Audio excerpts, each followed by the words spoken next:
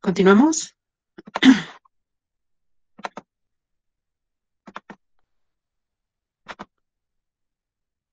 Ok. ¿Me escuchan? ¿Y observan la pantalla? Sí, doctora. Muy bien. Gracias. Gracias, gracias. Vamos a hablar del linaje mieloide, de los granulocitos, comprendiéndose que granulocitos quiere decir que hay granulaciones en el Tienen gránulos que se liberan en el retacto con, o con agentes infecciosos. Estos gránulos contienen proteínas. Pueden eh, ocasionar daño a niveles agentes patógenos, ¿ya? Su regulación es de tráfico y la actividad de otros leucocitos, remodelado de tejidos en el sitio de infección. ¿A qué se refiere? Por ejemplo, vamos a hablar de los neutrófilos. Los neutrófilos son, eh, presentan hasta tres lobulaciones. En patologías pueden presentar mayor a seis lobulaciones. Sus valores normales oscilan en porcentaje del 50 al 70%. Estos son valores eh, promedio. Ya, ya hemos dicho que hay un ente regulador en cada departamento o país que regula esto.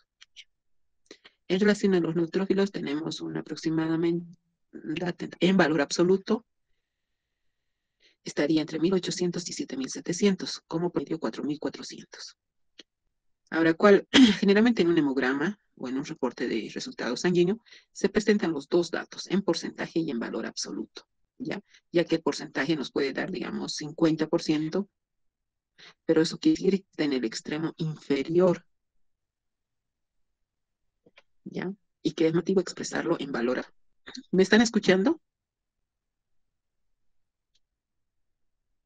Sí, doctora. Sí, doctora.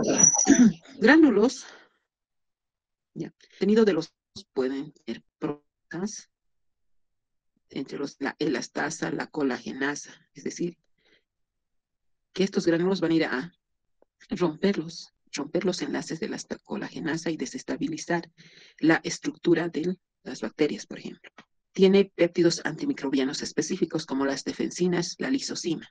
En su estructura también tiene, dentro de sus granulaciones, histamina. La histamina es esencial. Eso me lo van a... Yo creo que les voy a pasar el cuestionario porque para que no estén así, ¿ya? Las funciones, por ejemplo, y las proteasas. ¿sí? Las funciones de los neutrófilos es llegar primero al sitio de la lesión. Por eso es en la primera línea de defensa. Tienen como función para defender la fagocitosis, es decir, bacterias. La introducen dentro de su citoplasma.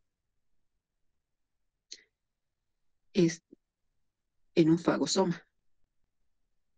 Al lado, como a continuación, está el fago lisosoma. que se va a unir con una bolsa que contiene a los gránulos. Una vez que está unido el antígeno con el formando el lisosoma, las granulaciones se degradan y liberan a sus. Los basófilos son angulados, presentan granulaciones de color azul, se encuentran del 1 al 3%, en valor absolutas unidades, con un promedio de 40. Eh, contienen dentro de sus granaciones citosina 4, la 13, el factor de necrosis tumoral alfa, los mediadores lipídicos, como los leucotrienos, que son como el sustrato para procesos febriles, y también ¿ya? En relación a lo, los basófilos no liberan sus granulaciones. Tienen gran actividad frente a helmintos, que es un parásito de gran tamaño, gusano, ¿no? Se acercan y liberan su contenido para destabilizar sobre todo el sistema nervioso central del parásito a través de lo que es la eh,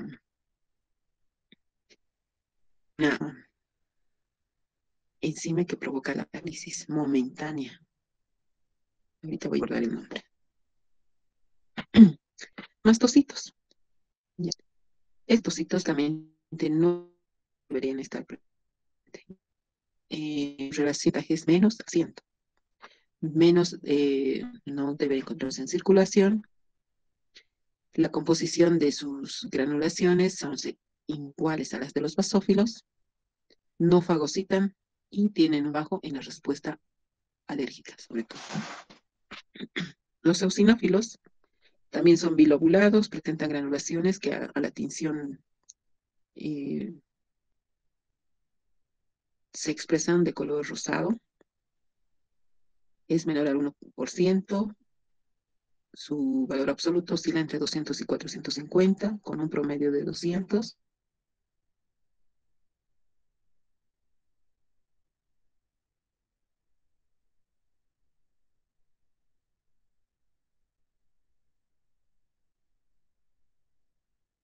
Sinófilos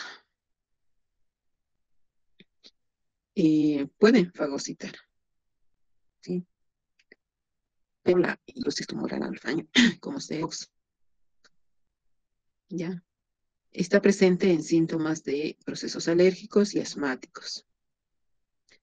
Vamos a cuestionar esto de fagocitos, no es como lo hace el neutrófilo. Vamos a explicar más adelante. Vamos a hablar de la línea mieloide, pero en específico de las APC. ¿Qué hemos dicho que son las APC? Señoritas, jóvenes. ¿Qué hemos dicho que son las APC? Células de antígeno. Muy bien. Nunca deben olvidarse porque todo el semestre vamos a hablar de las APC, que son las células que trabajan en la respuesta inmune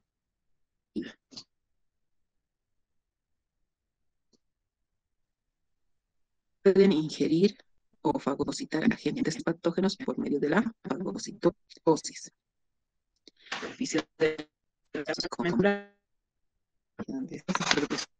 presentar los antígenos peptídicos. ¿Para de qué estoy hablando?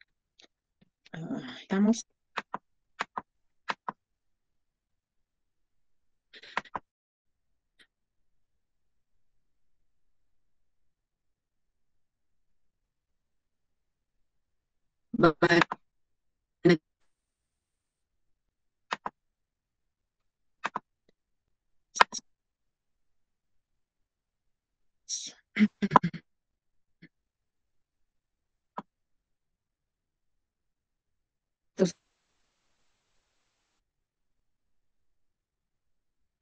Entonces aquí tenemos y viene una serie de bacterias. Y la entonces, esta es una APC. ¿Sé quiénes pueden ser? Esta APC fagocítica. Yo que hay cuatro.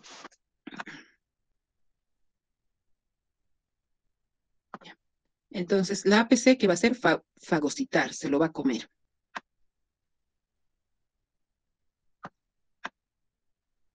Este es su núcleo.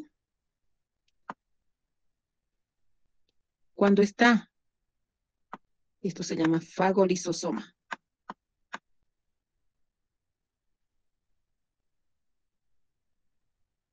Ya, ustedes lo harán mucho más bonito.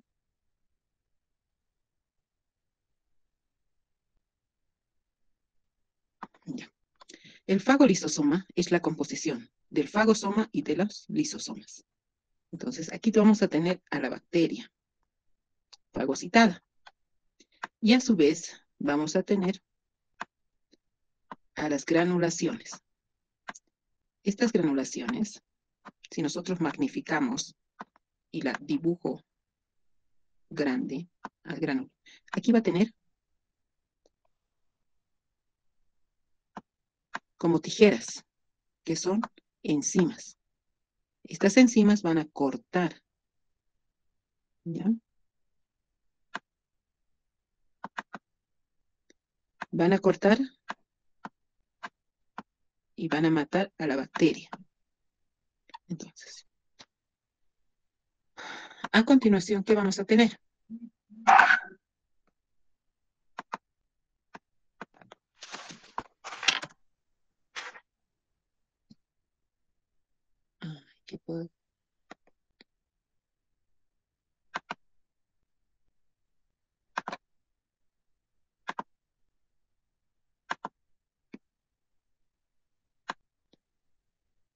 Necesito, necesito.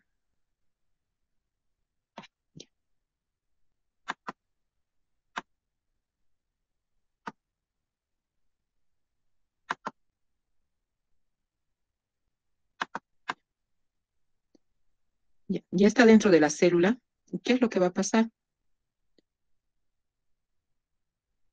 Las APC son fundamentales para la inmunología. Y prácticamente todo está en base a esto. Tenemos aquí a la APC. Ya tenemos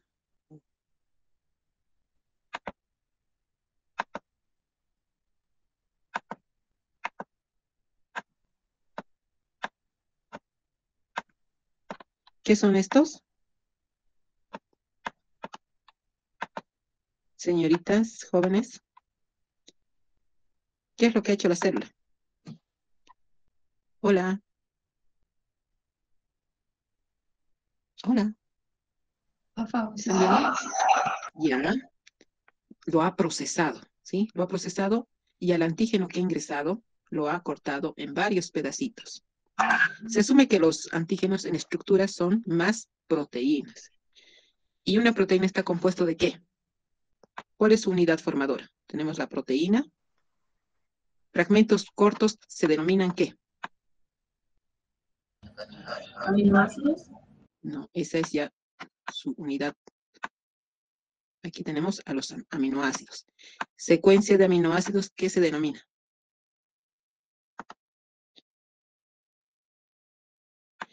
Péptidos aminocídicos, ¿ve? Péptidos. Un conjunto de péptidos da una proteína funcional. Ya les he dicho la anterior clase. Todo lo que ustedes han aprendido ahora lo vamos a utilizar. Entonces, aquí, ¿qué tenemos? Péptidos. Fragmentos de una bacteria. Esta APC, por ejemplo, puede ser una célula dendrítica o puede ser un neutrófilo. No se va a quedar con la información de decir sí, el- la bacteria y la hemos matado y listo. Porque cuando entra la bacteria no entra una, no entra diez, sino miles. Y la célula no se puede callar esta información. Entonces lo que va a hacer a través de los organelos membranosos, como ser el retículo endoplasmático rugoso, el aparato de Golgi, a través de una molécula que se llama HLA, ¿ya?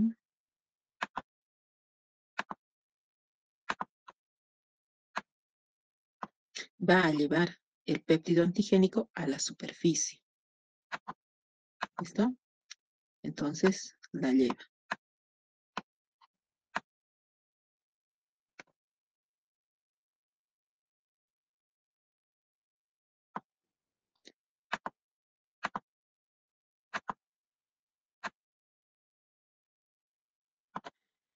Y la muestra.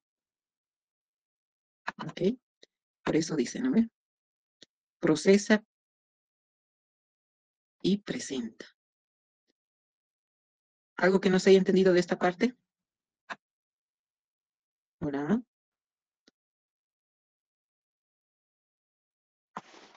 Bueno, nadie dice nada. Asuma que está entendido. Aquí estamos. Ya, a eso se refiere. Cuando dice, pueden ingerir, pueden ingerir agentes patógenos por medio de la fagocitosis. Van a digerir proteínas patogénicas hacia péptidos antigénicos. Ya saben que son péptidos. Y después van a presentar estos antígenos sobre la superficie de la membrana celular. ¿Ok? Entonces, dentro de las APCs tenemos a los monocitos, que están en circulación. Son unas células de mayor tamaño, presenta estructuralmente, indica la teoría, que un núcleo arriñonado. Sus valores normales oscilan entre el 5 al 10%, en absoluto con un promedio de 300. La función van a diferenciar a macrófagos y células dendríticas en los tejidos. Reparación de tejido luego de una lesión y constantemente el monocito hace patrullaje. Está siempre patrullando y vigilando. Los macrófagos son los mismos monocitos, solo que están en tejido. ¿ya? Al igual que los monocitos van a fagocitar y van a presentar antígenos. Hacen una reparación y limpieza del lugar de la lesión. Pueden ingerir células muertas y neutrófilos acumulados, a lo que nosotros conocemos como la pus. Promueven angiogenia y fibrosis mediadas por citocinas. Ya cuando estos macrófagos empiezan a detectar a, los, eh, a las bacterias, estas empiezan a mm, ser células con actividad eh, alta. ¿ya? Adquieren diferentes nombres dependiendo del tejido donde se encuentre. Por ejemplo, el macrófago, cuando está a nivel del hueso, no se llama macrófago, se llama osteoclasto. Cuando el macrófago está en el sistema nervioso central, se llama microglía.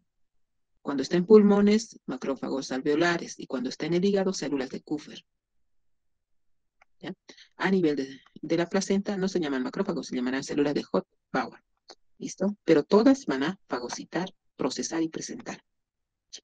Ahora, las células dendríticas, al igual que el macrófago o los monocitos, tiene prolongaciones, pero son más alargadas, tienen una mayor capacidad de expresar a su vez en su superficie receptores. Las células dendríticas se van a clasificar en clásicas o tradicionales, plasmocitoides y foliculares.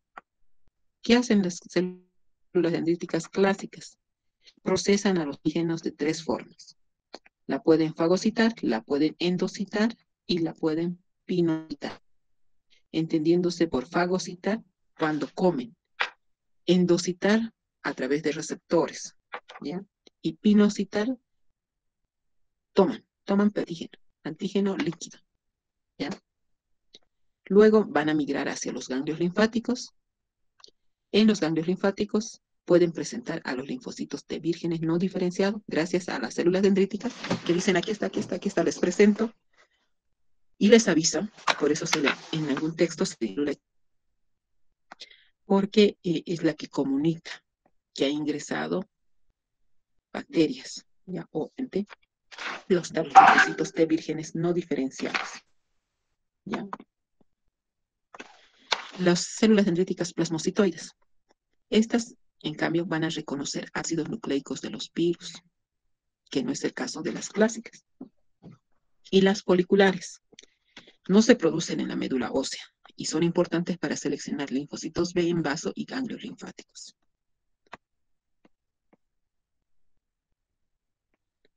Eh, línea linfoide.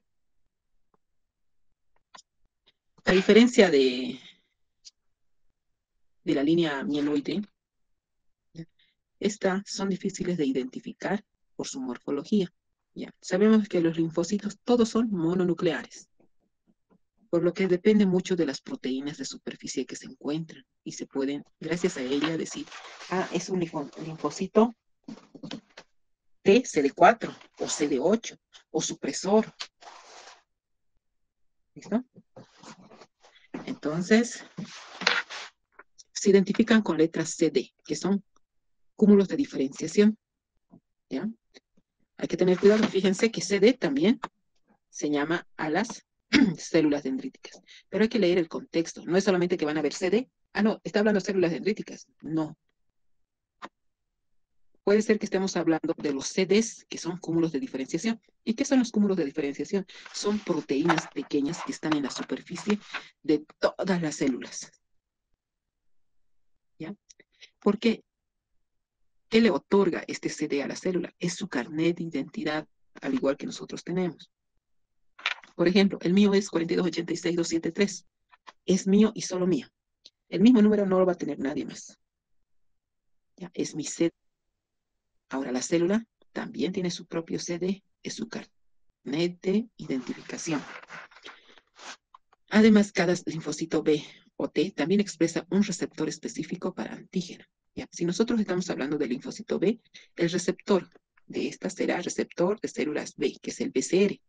Pero si estamos hablando de los linfocitos T, será el TCR, que es receptor de células T. ¿Ok? Ahora, dentro de la línea linfoide tenemos a los linfocitos B. Es mononuclear, pero expresa en su superficie receptores. Estos receptores son las inmunoglobulinas D.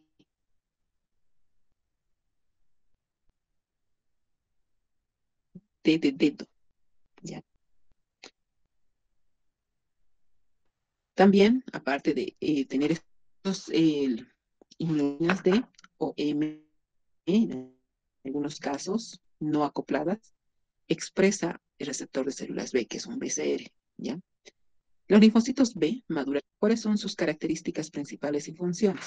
Existen varias poblaciones de linfocitos B maduros. Entre ellos tenemos a los linfocitos B1, linfocitos de la zona marginal del vaso, que son timo independientes produciendo IgM de superficie.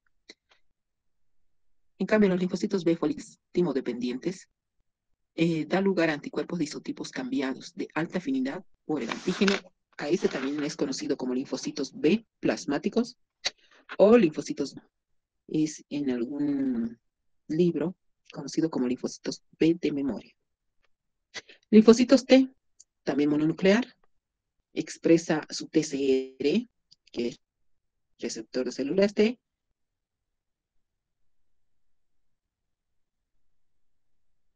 pero también tiene una molécula de apoyo que la a nivel de ganglios linfáticos puede ser CD4, CD8, regulador. Fíjense, llegan a madurarse en el timo, el linfocito T. Por eso, ¿no? Que viene del timo. Existen varias poblaciones de linfocitos T maduras. Entre estas tenemos el linfocito T con um, cúmulo de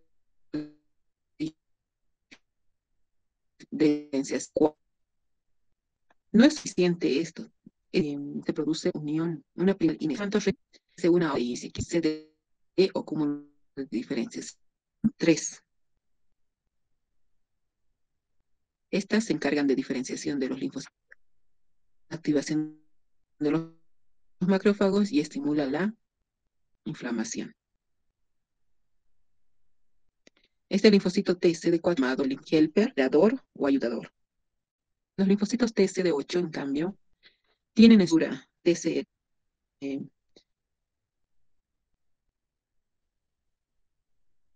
CD8 como primera señal es inestable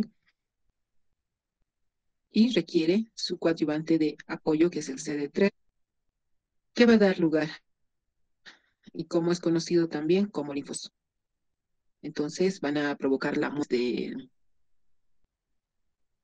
la célula infectada gracias a gran enzima.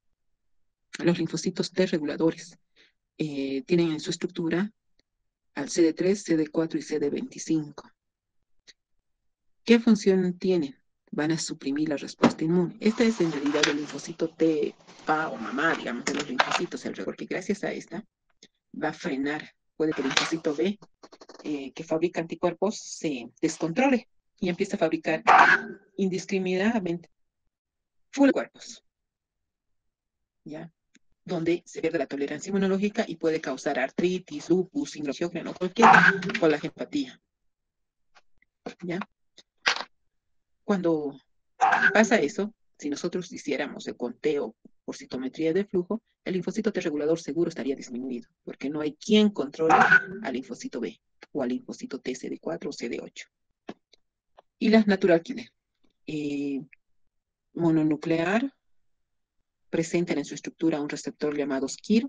Este KIR evita eh, que la célula asesina pueda matar una célula mm, sana. El KIR generalmente no está presente cuando la célula es cancerígena. Entonces, como el KIR no está, la natural killer lo mata. Igual, a través de puentes. Eh, eh, la muerte que causa es de tipo enzimática. Expresan diversos receptores de superficie, que es el complejo mayor de histocompatibilidad clase 1, que cuando son ocupados inhiben la capacidad para matar otras células. Cuando las encuentran células que han perdido su MHC1, estos ya no están ocupados y no hay la citotoxicidad. De esta parte se ha comprendido. Ah. Hola. Sí, doctora.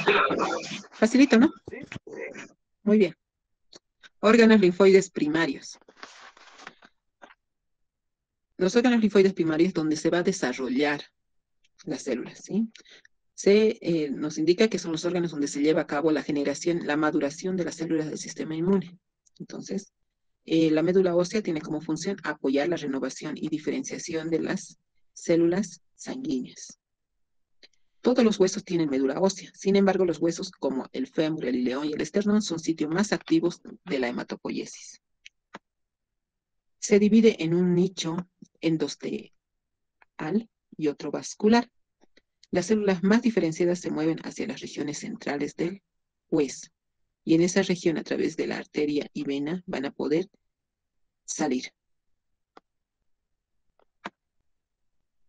Órganos linfoides primarios tenemos, hemos dicho, que son dos principales. La médula ósea y ahora el timo. ¿Qué hace el timo? Tiene una función que es la maduración exclusivamente de los linfocitos T. ¿sí? Esta es la estructura del timo.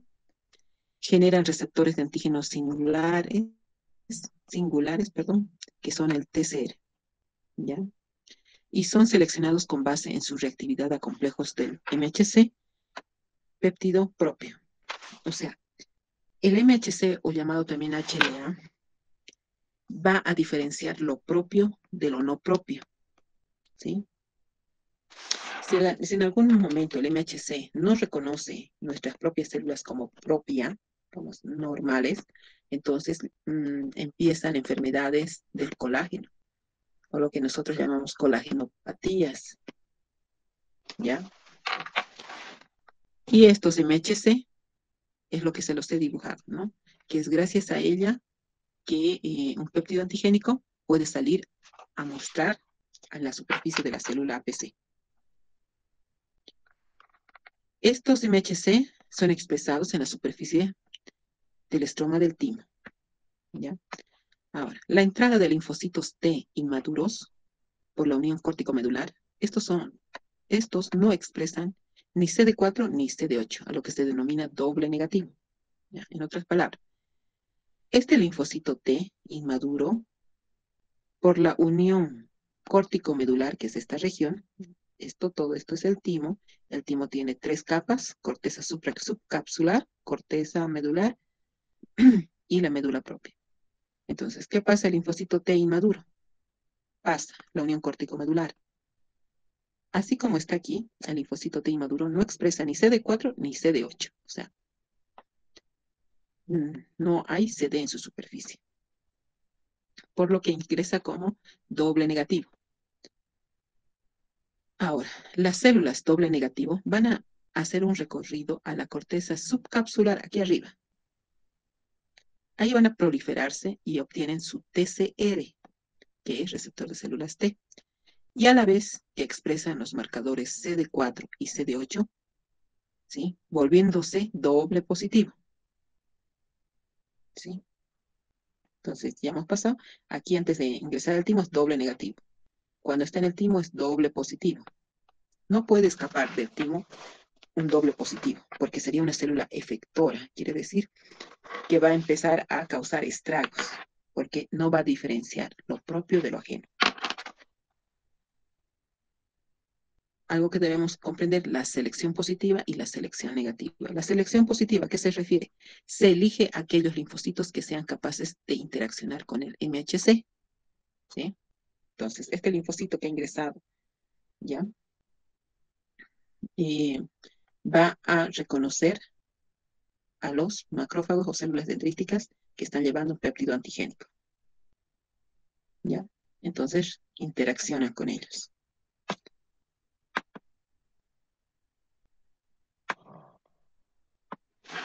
La selección negativa. En la selección negativa, los linfocitos T mueren por apoptosis o muerte celular programada. Los timocitos, que reciben señales muy intensas a través del, TCR. ¿Ya? Eso se denomina selección negativa. Ahora, los timocitos que superan estos mecanismos salen del timo como células T maduras y simples que pueden ser linfocitos T, CD4 o linfocitos T, CD8. Órganos linfoides secundarios. Los órganos linfoides secundarios es donde se lleva a cabo la presentación del antígeno. O sea, en la célula dendrítica o el macrófago fagocita procesa y presenta en su membrana. Entonces no se queda con información, va a desencadenar una respuesta inmunitaria adaptativa al diferenciar los linfocitos B y T vírgenes en sus diferentes poblaciones.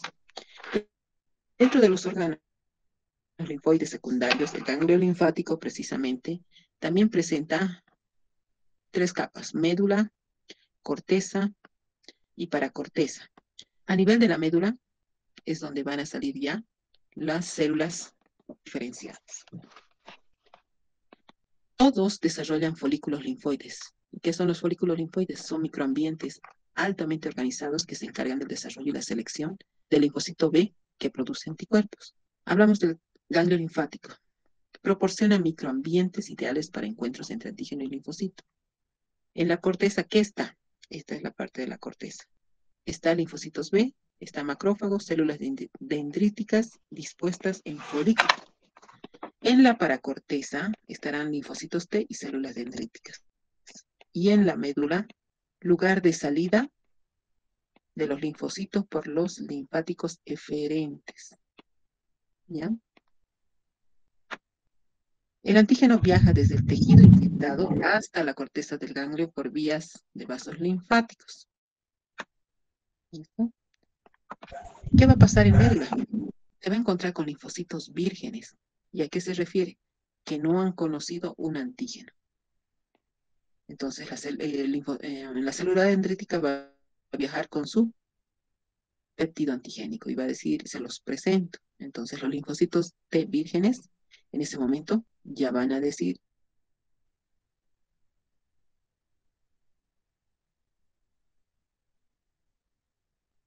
y decidir si son CD4 o CD8. Doctora,